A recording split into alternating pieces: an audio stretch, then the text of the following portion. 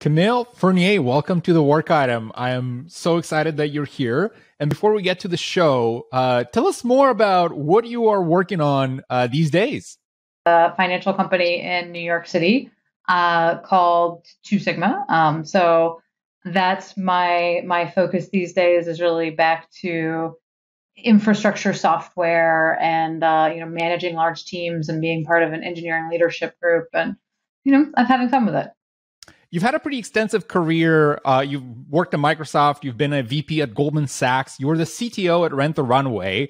Uh, these seem like very different organizations. So they do a lot of things quite differently. You know, if I even compare Microsoft to Goldman Sachs, which is, which is a financial organization, how are they different in terms of the work that you've done? Because you've been doing deep engineering work in each and every one of them. And one of the fun facts that you worked on .NET CLR. Is that correct? a very long time ago, yes. right. So they're vastly different projects. How did that work uh, in your experience and how did that span? Let's see. So I guess look at Microsoft I was right out of undergraduate. So, you know, I was still learning how to be an employee. I was still learning how to uh, you know, how to how to like work really. Um, and you know, I joined this team because I thought I was really interested in you know compilers and runtimes, and I have to admit it was a it was an intensive job. Um, and I, you know, I kind of didn't really know how to work at that point. I mean, I had done some internships in college, but I just like didn't exactly know what I was doing. Um, so, you know, it, it was like a year and a half of like working with really, really smart people but feeling a little bit like I had no idea what I was doing and I had no idea like how to be productive. And this was like right when .NET was very first launching. So everybody on the team for the first several months I was there was like just in super crunch mode. They did not have time to be onboarding a brand new college hire. Um, and you know, I didn't really know how to like jump into these massive code bases and really figure out my way around. So I kind of tell people, you know, I learned some things in that first, you know, couple of years of work, but not as much as I as I probably should have or could have because I just didn't really I didn't know how to like approach it and I wasn't in an environment that was really set up for like somebody who needed for you know frankly the kind of handholding that I guess I did at that point in my life. Um, so I went to graduate school for a couple of years um, and decided I didn't want to get a PhD. so I then went to Goldman Sachs. Um, and I went to Goldman Sachs because I wanted to live in New York City. Um, and Goldman was, you know, willing to pay me enough money to live in New York City, which was what I wanted. And it, look, it seemed like an interesting group. It was working in their risk technology area. I liked all the people. They seemed nice. Um, they seemed smart. Um, and I actually ended up having an amazing experience at Goldman. Um, I was there for about six and a half years, and so I did a few different things in my time there. But you know, the difference between Microsoft and Goldman for me was that you know, I came when I came to Goldman, they were doing kind of a proto agile style of development called extreme programming, which maybe some of your listeners have heard of and many probably haven't. But you know, it was early agile. It was test driven development, um, you know, and and a lot of like much more frequent software releases than many people were doing at the time. Um, and that was pretty awesome because I could actually figure out how to like make myself productive because we had all these tests that were kind of like the way you found your way into the code base. And so, in addition to doing some pair programming to kind of get me started, there was all these tests, and I all of a sudden started to feel like I could figure out my way around this code base. I could become productive, um, and you know that really like gave me the the depth and the time I needed to really become a great software engineer, a great programmer. You know, just feel confident, learn the skills that I needed to learn. I got to work on a bunch of big distributed systems in my time in that risk team and and beyond. Um, and I was at Goldman, like I said, for about six and a half years, um, mostly doing, you know, kind of big tech systems. Um, so, you know, I worked on the Apache Zookeeper project and a, and a, project related to that as kind of my last thing there. And that was really awesome um, because, you know, just really interesting distributed systems problems and, you know, consensus problems there. Um, when I left Goldman to go to Rent the Runway, I had kind of, you know, I'd gotten to a pretty senior level as an individual contributor. So I was like a sort of a staff engineer type person. Um, and that was cool and I felt good. I felt good about my skills. I felt like I had learned a lot, but I kind of wanted to grow more and become, I, I, wanted to kind of try out managing and managing larger teams and, and getting more leadership experience. And Goldman was a really big company. And, you know, the way you ended up getting into management, you know, it just it involved a lot of trade offs that I didn't want to make, frankly, right? Like maybe you could become a manager, but like most of your team would be in India. And so you would always be awake like super early in the morning or super late at night because of the time zone shift. And I was like not really excited about that. Or, you know, maybe you would go manage, you know, a team that was working on something that you're just super uninterested in. Right. And, you know, that's okay. You know, in retrospect, I'm like, that's totally reasonable to make these kinds of trade offs, but I just didn't want to make them. Um, and I also thought that the startup industry seemed fun. And I was like, look, like this is the time in my life. I feel like I'm a really confident engineer. I want to stretch myself. I want to try out this startup thing.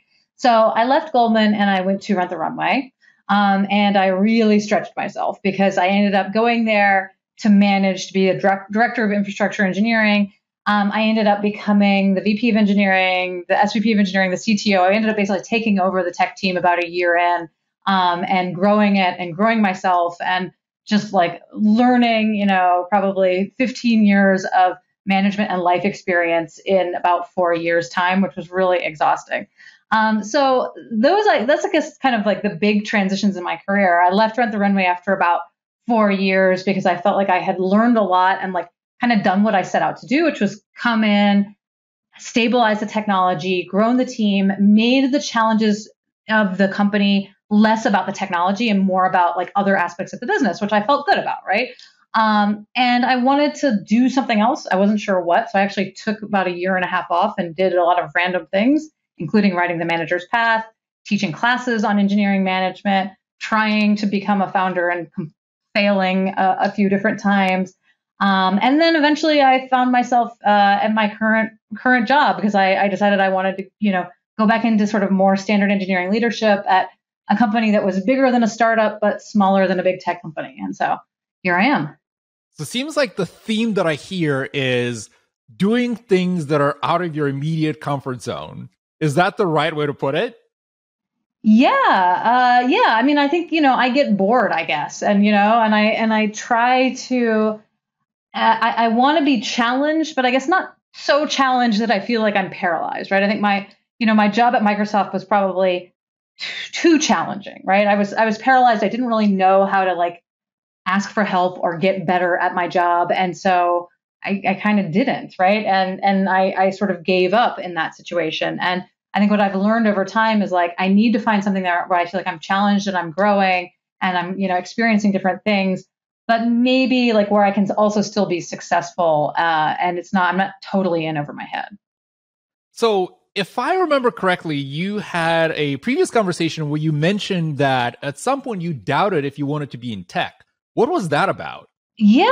Uh, so, uh, so as I said, right, I, uh, I, I had the Microsoft job, and it wasn't, you know, I, again, it wasn't a total waste, but I just didn't feel like I was, I was the person that I wanted to be. I wasn't like super productive and like, you know, this brilliant engineer. And then I went to graduate school. Um, and I was like an okay graduate student, but not a great graduate student, right? I, I was definitely not anywhere like top of my class. It wasn't easy. I wasn't a natural researcher. Um, and I think that, you know, after those two experiences, I was I was just starting to wonder whether tech was the right thing for me. And this is sort of funny because like I obviously enjoyed it enough to get an undergraduate degree and a graduate degree. Like I did like tech. I found it was I found it interesting but I just didn't feel like I was good at it. You know, I just didn't feel like I was like productive or, um, you know, like I don't know. I, you know, I'm I'm a I'm an overachiever. Right? Like I wanted to feel like I could be an overachiever, and I just wasn't ever getting that feeling in all of these experiences.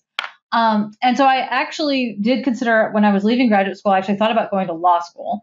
But I said, you know what? I'm not going to like jump straight from like a career that look, you can get a job that pays you enough money to live in New York City, you know, with very little experience.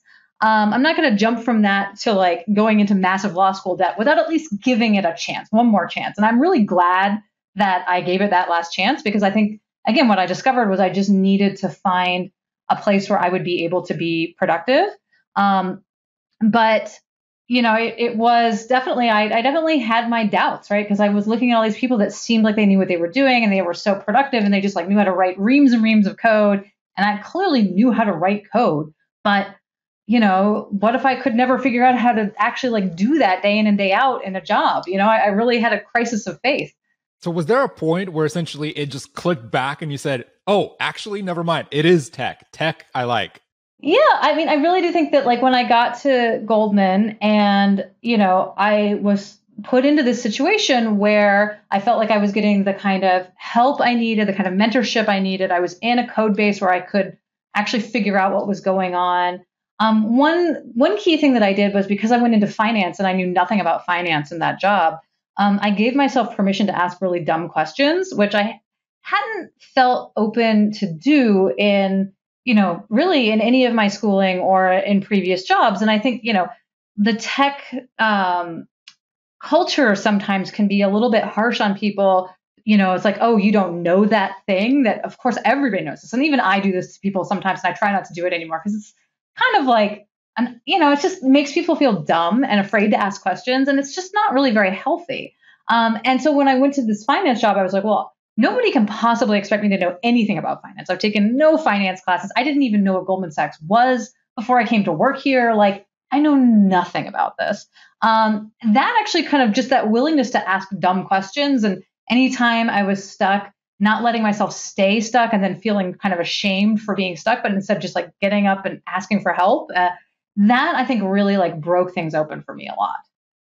So it, it's interesting because it's the opposite of what a lot of people assume what comes with you know a job in tech where you're expected to kind of know everything and you're taking the opposite approach of saying actually i will learn with all of you which again is very I, I talk to some folks that are very early in their career and to them it's very discouraging because they feel like well i don't know a lot of these things that a lot of people are talking about. And reality is like yeah those people don't know either. They're figuring it out as they go. So but I actually want to ask you about pair programming, and you mentioned it, that you were uh, doing it at Goldman Sachs, and this is something that I've talked to one of my former colleagues, Chad Fowler, who's a uh, big in Ruby community, and he did the same thing.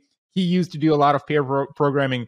I'm curious, how did that work out today? Because this is again a non-traditional side of engineering today. You don't hear a lot of people doing extreme programming nowadays. Yeah, and look, uh, even even when I was there, it wasn't like we did pair programming 24 7, right? We, you know, it was used to onboard people. And then, you know, you used it when you had something that you were really stuck on, you know, uh, or if you had something where you just like, you really needed to like power through something hard. So my experience with power with pair programming is it's really good for onboarding people, right? So like sitting next to someone who's learning, giving them the keyboard um, sometimes taking it yourself so they can watch you work, right? But like really being forced to talk through things and having that that shared focused attention, I think is very very good for onboarding. It's great when you have like a weird bug and you're like both just like staring, you have the same context in front of you, so you know you're you know you're looking at the same things and you can you know you can maybe see what the other person is missing and vice versa. Um, and then I think it's really it can be good because also when you're working with someone and you're kind of watching each other, you know, frankly, it just keeps you focused and on track, right? Like you can't be like, uh, I'm just gonna go check Twitter for 30 minutes and like no, like you really actually have to be focused. And that's why I think it's like best to use lightly. Like I know some people do it day in and day out. I think that would be really exhausting personally. Like I just, you know, it is it's a lot of work to do pair programming. Um, it's a lot of intense focus time, but it can be really productive in certain circumstances. And, you know, so I, I think it's like a, something everyone should do occasionally, but probably not not anywhere near every day. I have that sense when you're an engineer and somebody's watching over your shoulder for every single keystroke that you have, it's a little bit uneasy. It's just like, uh, I don't know. yeah. I mean, you definitely have to trust the person you're doing pair programming with too, right? Like if you're, if you were pairing with someone, I mean, you know, obviously when you're onboarding, you're still getting to know people, but like if you're pairing with someone and you feel like they're just looking for you to make a mistake, what a oof, that sounds horrible, right? It has to be a good trusting relationship. Right, which takes some time to develop. But given the breadth of the experiences that you have across these different teams and different companies, have you established some kind of litmus test for you personally of saying which team you want to join? because there's the aspect of folks getting bored or maybe they feel like the project has hit kind of a dead end. But for you personally, what's that bar of saying, I will join this team versus I will not join this team? So I think there's a few things. Um, when it comes, so there has to be a level of like, I actually kind of believe that the thing they're trying to do can be successful. So, you know, when I like, I joined Rent the Runway. Right? Rent the Runway is a women's uh, fashion startup here in New York City, right? They rent, you know, designer dresses and accessories, and it's still going. It's doing very well. Been a very successful company. Um, but when I joined, it was still very early. Um, and you know, uh, it's not a tech startup, and in in the sort of traditional like everything about it is you know was selling a SaaS product or whatever, right? Um, but it was very clear to me that this was a great business idea. Um, that this and that this was a great business idea that other people weren't going to uh, value as highly as I would because frankly a lot of people in tech are men who don't necessarily think that like women's fashion is an interesting thing, even though I think it's a very interesting thing, and I actually think it's a huge market. Um, and so when I, you know, one of the reasons that I joined Rent the Runway was that I felt like, you know, it was a great business, and and I do think that's something that I think about a lot when I pick companies to join. Is like, do I think that this, you know, do I think that this business is, um, you know, something that I'm going to be okay with having on my resume, right? And look, I joined Goldman Sachs has had its ups and downs as as a company in the sort of public eye. I joined long before the days when it was like the villain of Wall Street.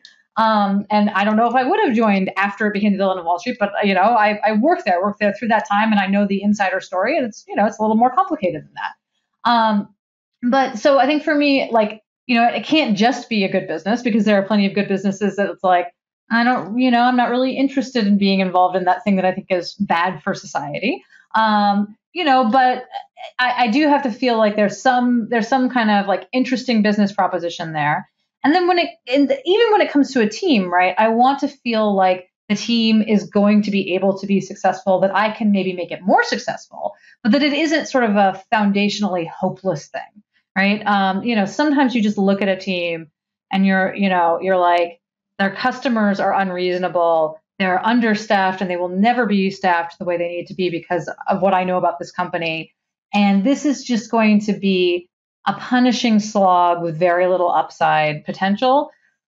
Some people like that. I think some people are, uh, uh, frankly, like kind of like to martyr themselves on maybe impossible causes, and sometimes they create magical things. Um, but I, I prefer something that I feel like is challenging and interesting, and in a technical area that I find intellectually interesting but also that I also feel is likely to be able to be successful. so, in that regard, did you ever have any hesitation about joining a non tech company? Because I feel like when you talk to engineers on their, you know, list of companies to join, they always think of the FANG companies where, you know, I will jump from Netflix to Facebook to Microsoft to Amazon. But you went again, you picked a very uh, unique path in that you decided to go to a non tech company, which is feels like can be a gamble, right? Because you don't know what their tech stack is like or how focused they are on tech. How was that? Yeah, you know, um, I I don't mind working. There, there are definitely like pros and cons to working for non-tech companies. Um, I do think that non-tech companies, uh, you have to be interested in the business, or you're probably not going to have a great experience.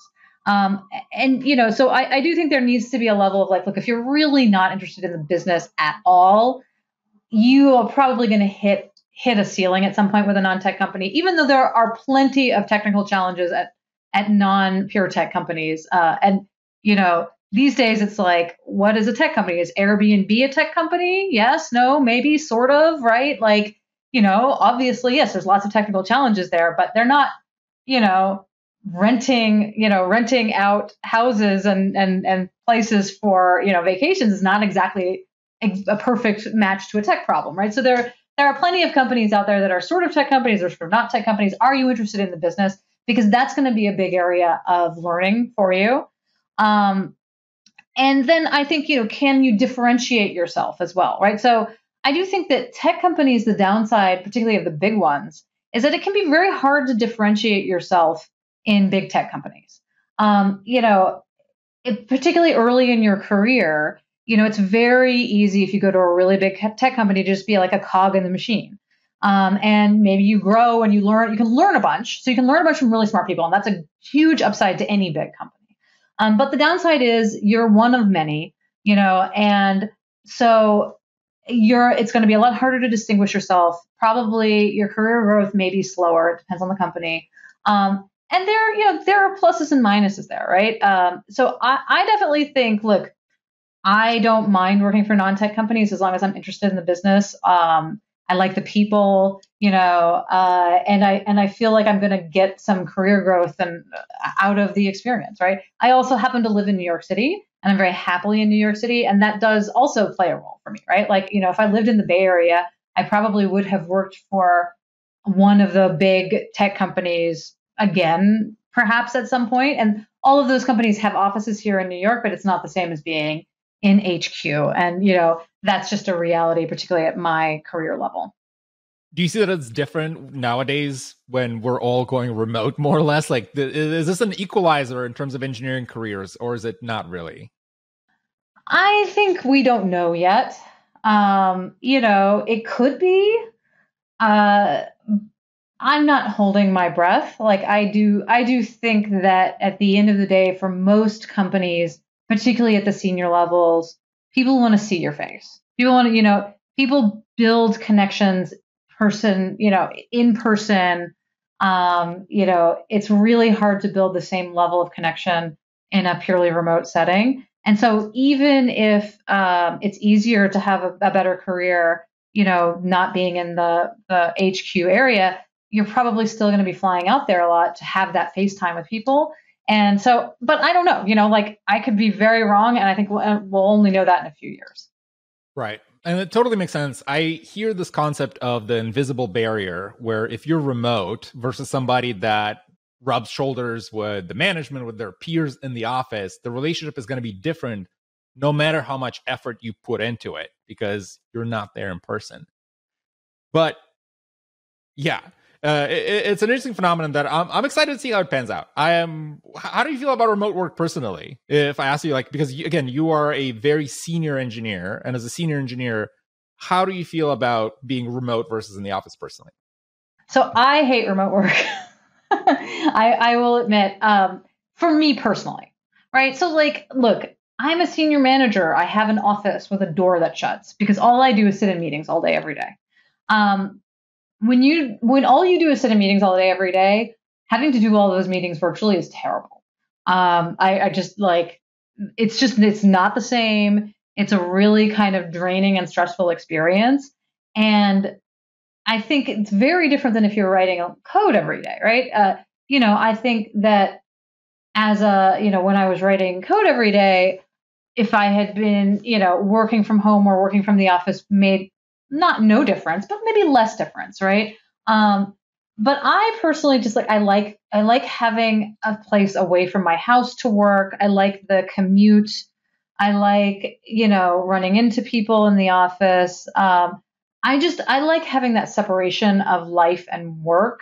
Um, and I find it really hard to do in a remote setting. And you know, this is really just like my own personality. Like I think plenty of people are super productive. I don't think remote work is like a bad thing. I think it will be a bad thing if everyone's forced into it. Like I, I do think I do think that that if all work becomes remote work in the future, there are a lot of downsides to it that I, I that folks don't necessarily um, you know, don't necessarily think about as much. Uh, you know, like I don't want to give up a room of my house to being a full time office. And you kind of have to do that, or you have to have some co working place and coffee shop that you're going and look if your job was like mine and you're in meetings all day every day just doesn't really work very well from a coffee shop. So how are you going to make that work? So you know again I, I i'm i'm not a fan of it personally but that's not to say that it doesn't have a good place in the future of of work in general. So speaking of careers when i talk to folks that are again early in their career or mid-career they talk about this concept of optimization of your own career track. And in your book, The Manager's Path, you talk about these lif- different types of engineering careers. So when you start as an individual contributor, you go to tech lead, manager, VP, CTO. Do you see careers in the engineering track as being linear. It's like you have to hit each step, or is it something that is a little bit more? I want to say like a like a zigzag where you can just jump between depending on the opportunity. How do you see that? Yeah, I definitely don't think it's it's linear. Um, I think it's lin- it can be linear for some people. It is linear, um, but I, I know a lot of people who have switched back and forth between IC and management. For example, I actually did that a little bit. So when I was at Goldman, I had a period of time when I was managing a small team, and then I went back to being an IC, and that was fine. That was good, really. Um, it was good for me. I learned something in the process of managing a small team for you know a year or so. Um, but I, you know, I also was like, this is not really what I want to be doing right now. I really want to be super focused on, you know, writing code and building systems, and that's where I am right now with my career. Um, and so I kind of bounced back and forth. Um, you know, I definitely think also that like, look, like, you know, your level, like whatever your quote unquote title is or level is, is not necessarily like a linear path either, right? You know, I'm not the CTO of my current company. I don't want that job, by the way. I have been a CTO. Maybe someday I will want to be a CTO again. But being a CTO is a really hard job.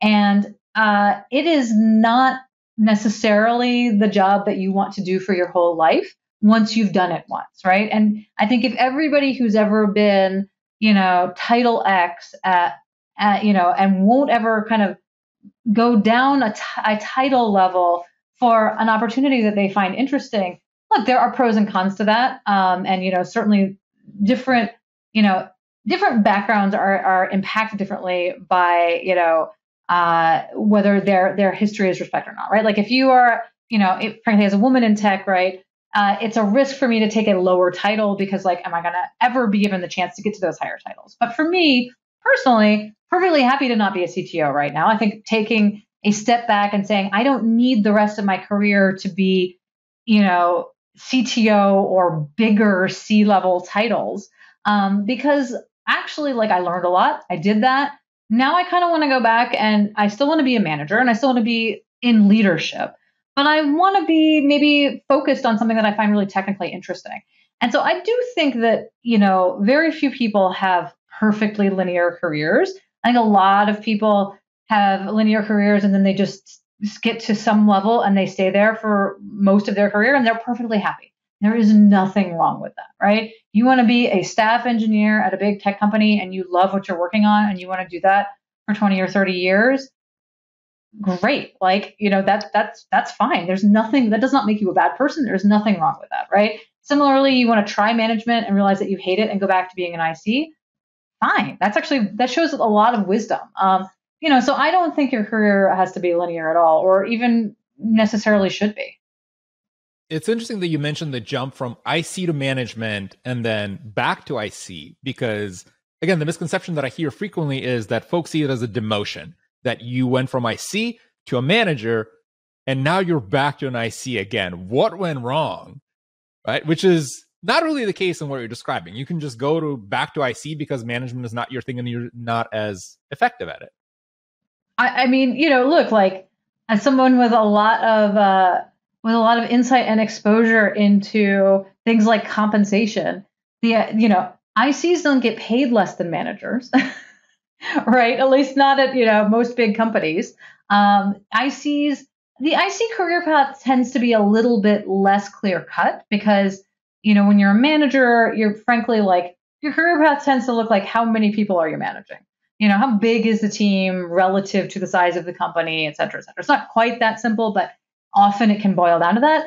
As an IC, it's a little bit less clear, right? You know, it's you, you know, okay, like I built this big system and I learned how to influence these people and I learned how to like, you know, run this massive cross team project effectively. And like these are kind of the kind of skills that get you raised up in levels. And it's it's not nearly as um as clear cut as management can be. But the idea that ICs are like less valued less lower compensated, any of those kinds of ideas, less powerful, is is I think something that's just like a really common misconception because it's for the most part not it's certainly not like totally true. It's often not true at all. Um, you know, except at the maybe the very senior most levels of a company.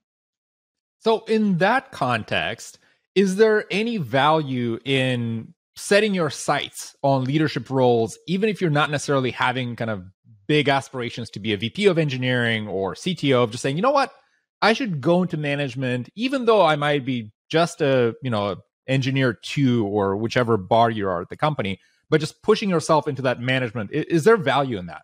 Well, I mean, look, I think that if you uh, if you care about people and uh, you know you like thinking about how you can make groups of people work better together, make better decisions.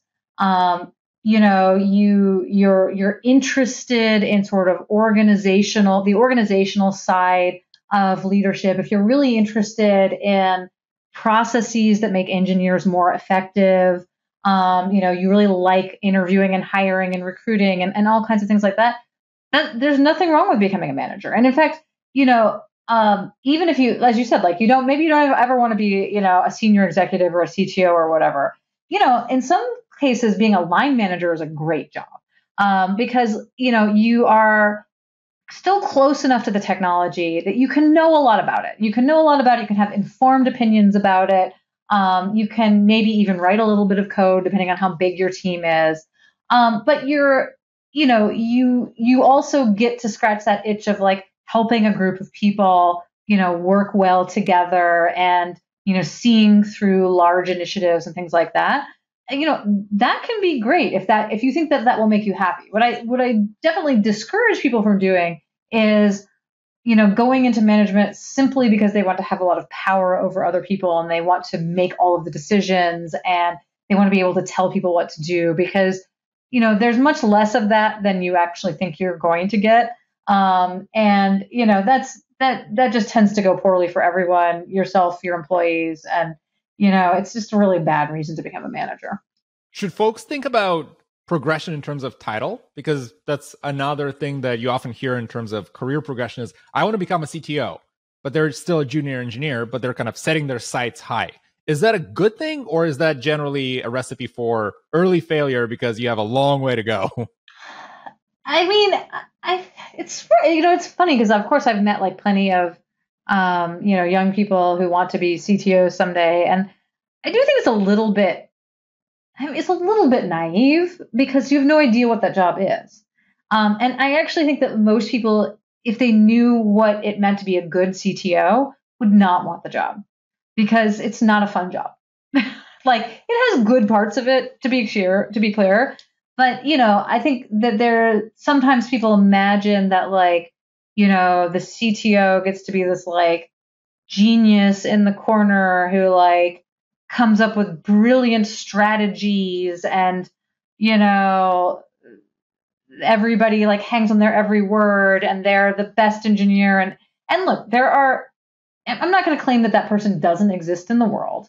Um, and if you want to be that person, work on learning how to do like work on like learning how to make really great product and strategic decisions about technology, right? Just like learn that stuff, learn it really, really well.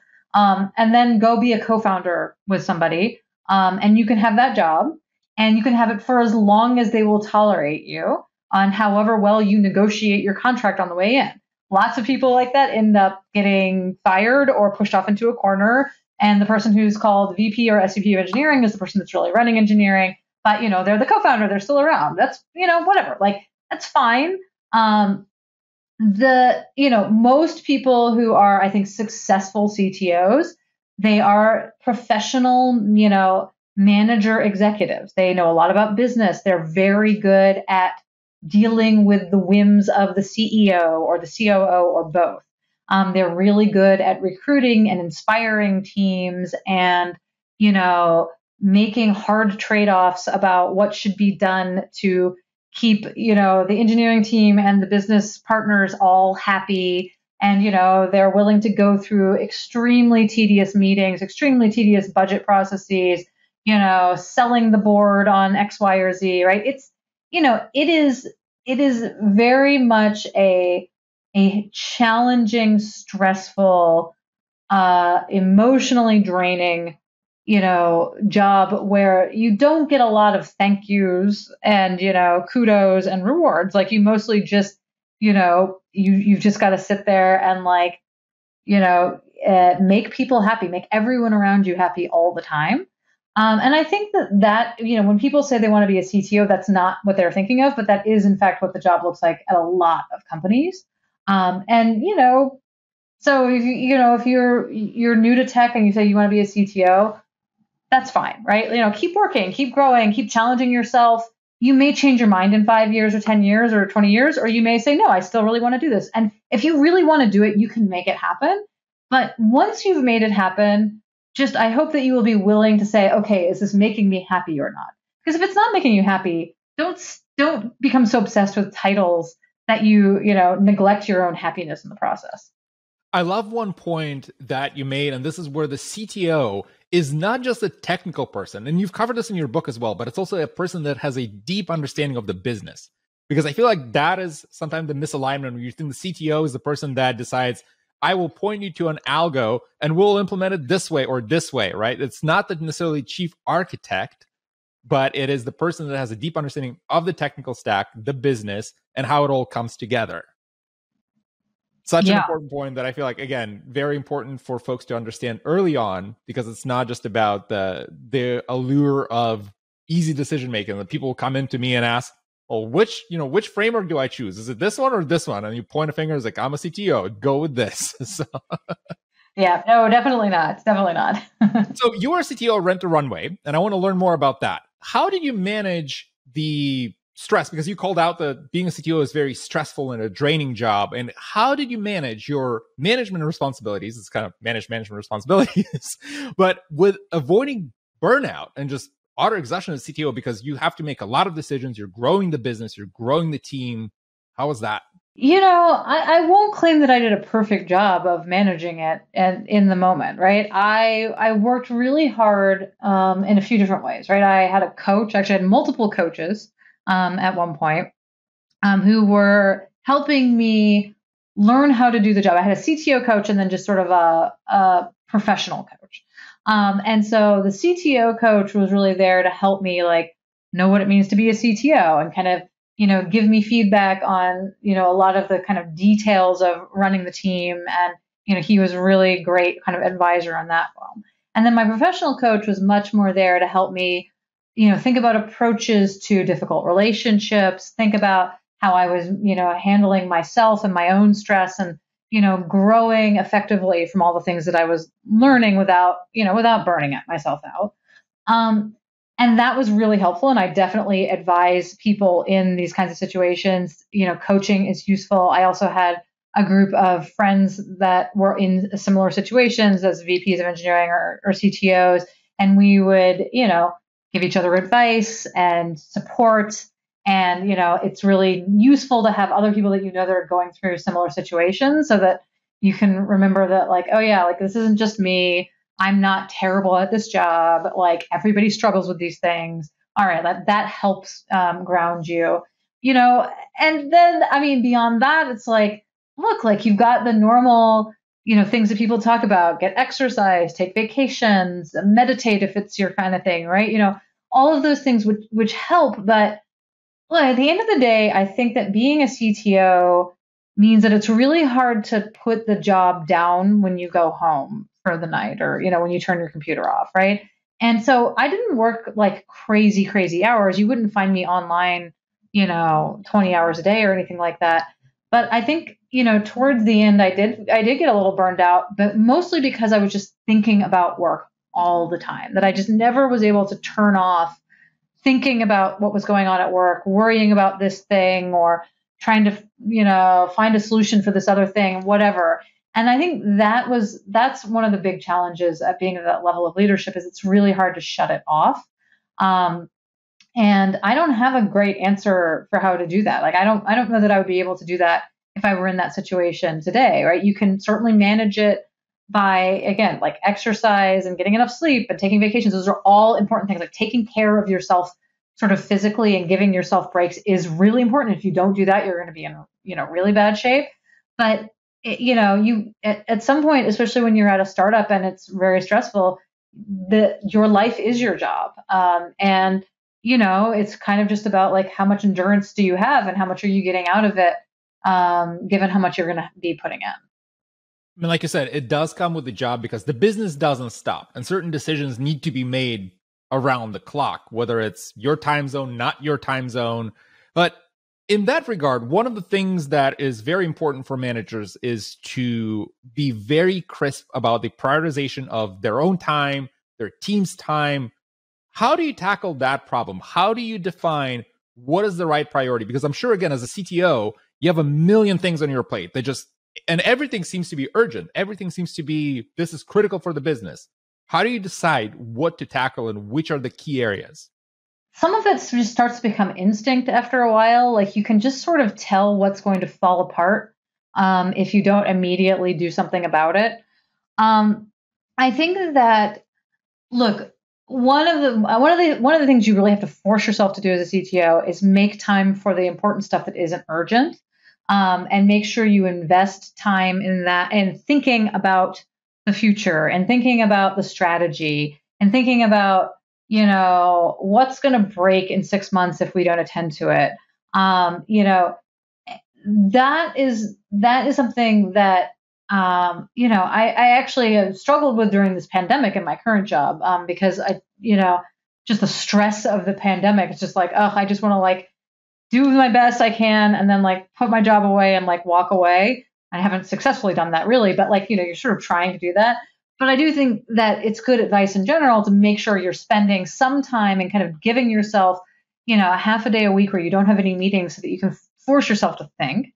Um, I definitely think that look, your relationship with your peers and your relationship with your team is super important, right? Making time for one-on-ones, making time to talk to people and listen to them and, you know, nurture those relationships because you get things done through your team um, and so if you get so busy that you're neglecting, you know, your your direct reports and you're you're neglecting the managers that report to you, that's a bad. That's that all almost always ends up poorly because um, they will, you know, even the ones that you have the most trust with, you know, something happens, they don't have a chance to talk to you about it. It starts to fester. It turns into a whole situation, and losing your, you know, losing your managers who you trust and that are doing good work you know, all of a sudden, like you're in a really bad situation, right? So, so, you know, making sure you do not neglect that regular maintenance work of one on ones with your direct reports, making sure you do not neglect building and nurturing relationships with your peers, um, you know, the head of product or the head of, you know, uh, you know, the, the COO or, you know, whomever that you, that you kind of work with in peer relationships, um, because those people also are, you know, you may need to band together to, to try to push back on the CEO who may have like a ridiculous request or, you know, to really get, you know, your team gets in a bind because their team is asking for something that's not possible. And you need to be able to negotiate that effectively. Um, and so I think that those, you know, like making time to think about the future and nurturing your your ongoing relationships and then you know doing the best you can at learning how to delegate delegate delegate you know hiring great people and giving them the chance to own stuff so that you don't have to own it, getting stuff off of your plate is really the only way you're going to survive and scale. And I think people who fail to effectively delegate um, really tend to tend to crack under the pressure of of managing at larger scales. So you mentioned one-on-ones, and what does a good one-on-one look like? Because this is something that when you talk to managers, oftentimes when they have a lot of things on their agenda, this is the first thing to go because you know I have I'm too busy for one-on-ones. There's a lot of things I need to do, and this is just a meeting with my report. We'll do it later. Yeah. What's a good one-on-one look like? You know, so I'm a fan of like one-on-ones as very much a little bit choose your own adventure when it comes to my direct reports. Like I and now this is a little bit of a function of me being at a very senior level and the people who report to me being fairly senior. But you know, so I I think a good one on one happens regularly, right? You don't bounce it around. You try to keep it in the same time slot as much as possible. And you, you definitely try not to cancel it unless it's really, you know, look, we all go on vacation sometimes. That's fine, right? But you want to, you want to avoid canceling it. You want to have them happen. And the most important thing is you, that you honor the time and you sit down with them and just give them the space to bring things up that they think that they may need to talk about. If you don't reserve the space, then small things will build up. They won't get talked about because here's what happens, right? Like, oh, I was really annoyed with what you said in that meeting to me. Um, if we had our one on one, I would bring it up. But our one on one got canceled. And now it's just been like three weeks since we talked. And it just feels like I'm holding a grudge to bring this up to you now. Right. So there are so many things that are like that. And expecting your direct reports to just grab you asynchronously and tell you that stuff, it's like, look, maybe some of them will do that, but you cannot bank on them having the courage to do that. You need to make sure you're honoring their space. Um, I think that one-on-ones, you know, with different people are going to have different, uh, you know, different cadences, right? So some people, eh, when you're having one-on-ones with more junior people, you may talk about career more often. For example, right? They're earlier in their career, they probably they might care a lot about getting promoted. They want to be challenged. They want to hear about. They want to get feedback a lot. They want to hear about what they could be working on, right? You know, at more senior levels, you still talk about career some, but you may talk about career a few times a year. You may spend a lot more time talking about frankly, like what's going on. If you have somebody reporting to you who's managing 40 people or 400 people or whatever, um, you're like, you're not just going to read written status reports from that person to know what's going on. That that is an unrealistic expectation. What what's going to happen is they're going to bring the stuff that has some nuance to you, and you're going to talk about the nuance that wouldn't make it in a status report. And that's important. That's important stuff to knowing how to operate your business, right?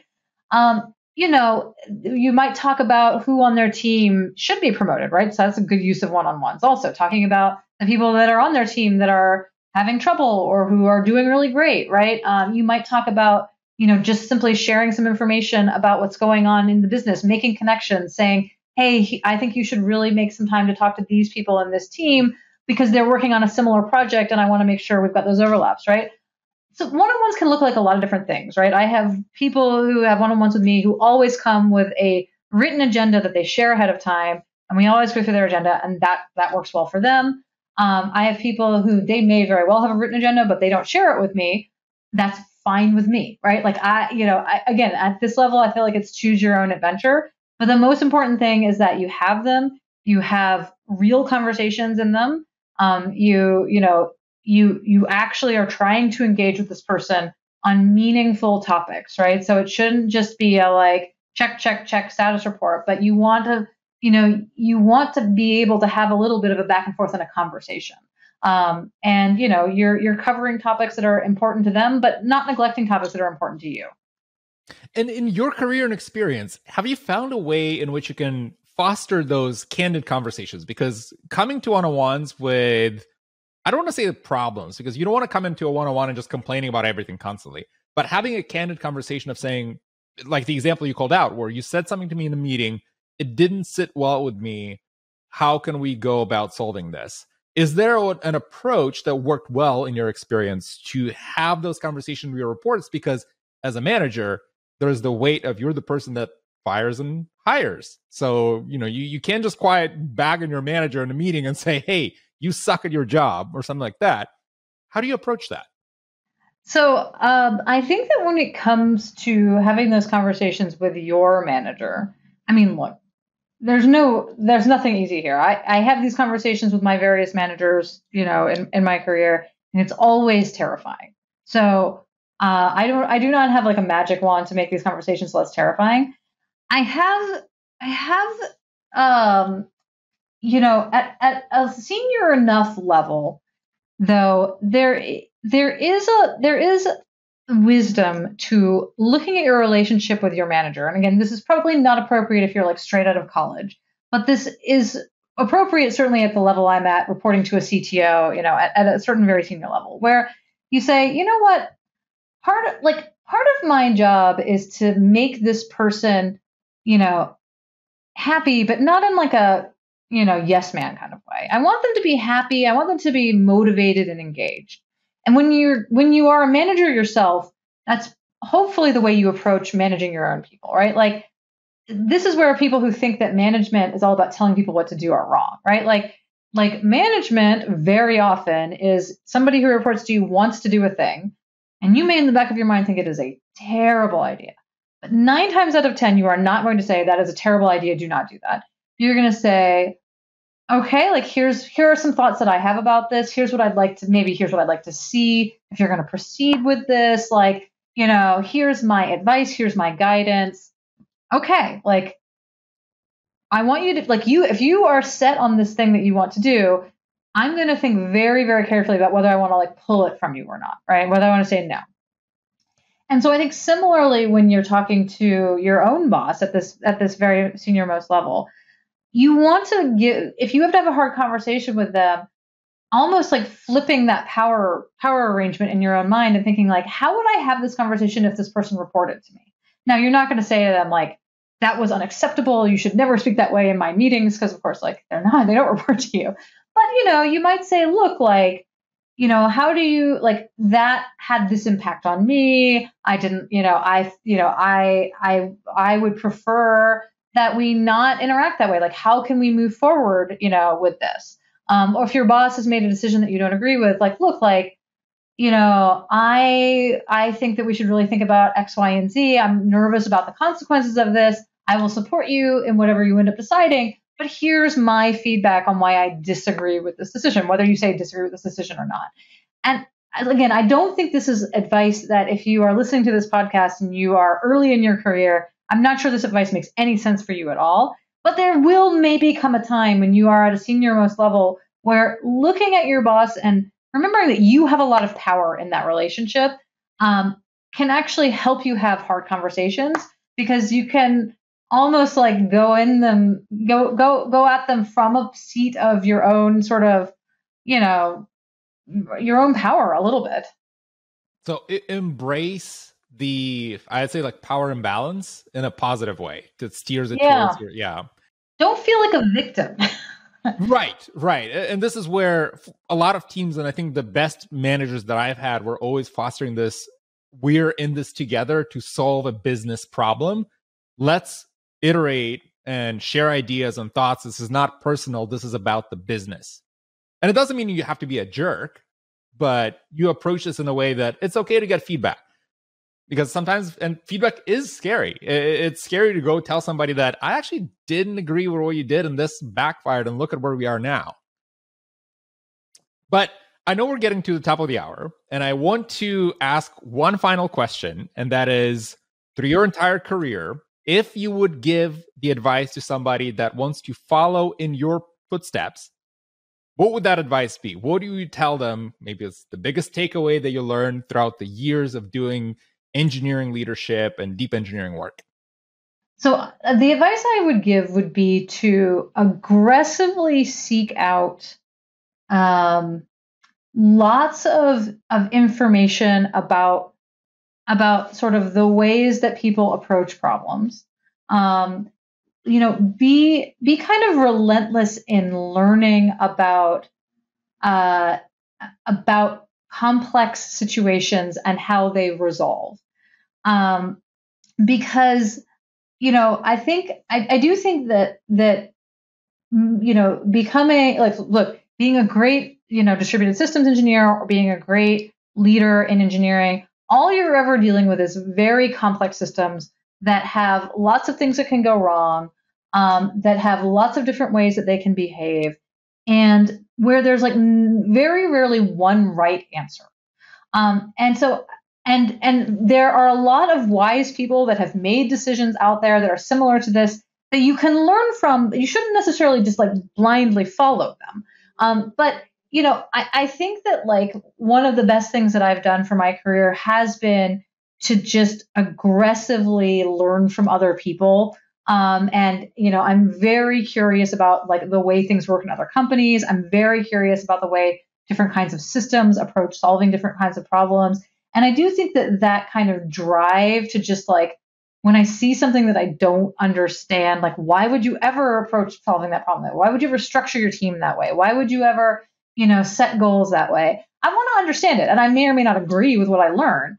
Um, but I'm I'm really like willing to ask a lot of questions when I don't understand things, um, and get a lot and get a lot of clarity so that I can make the best kind of mental model about what's going on, so that, that I can make kind of better decisions.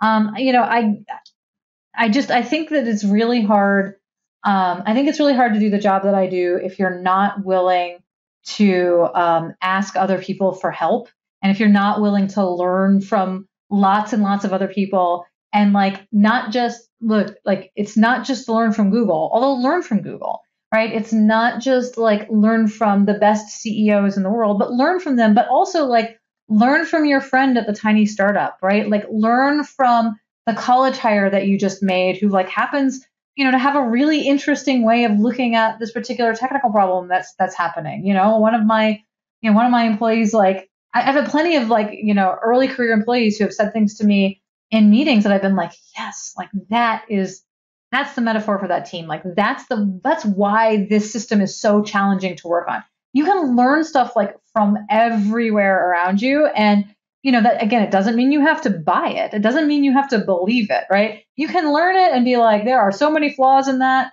that you know all right glad i know that moving on from that. Um, but you've got to remain kind of open to adding additional evidence and asking questions. And this is not you know about tech about leadership about people about companies about you know business decision about everything. Um, you know the minute that you stop having that drive to figure out new ways to approach problems and better ways to do things and learning from others um, i think is kind of the minute that you sort of calcify and and start to kind of lose your edge. And i love the insight that you provided that the, the good knowledge and thoughts and ideas can come from anywhere where a lot of folks often think like well my title is not high enough to go to tell this vp that there's a flaw in the system. No they they probably want to know just as much as you, everything that you know tell them it's one of those things where it's I want to say like equalize in terms of knowledge transfer, if you will. yeah, absolutely. Absolutely. Camille, thank you so much for sharing your wisdom with us today. For people that want to learn more about what you're working on, where should they go online? Uh, yeah, probably the easiest thing to do is to follow me on Twitter. It's at Skamille, S K A M I L L E. Um, I, you know, I tweet sort of on and off, but I do tweet. I also blog um, you, I have a, mo- po- I post most things on Medium um, with the same username, uh, and I have a, a website um, with my blog as well, which is elidedbranches.com. But probably easiest to just follow me on Twitter or you know follow me on Medium if you want to see my writing. Um, yeah, and that's that's probably the easiest way to to keep in touch. Wonderful, Camille. Thank you for being here with us today. Thank you.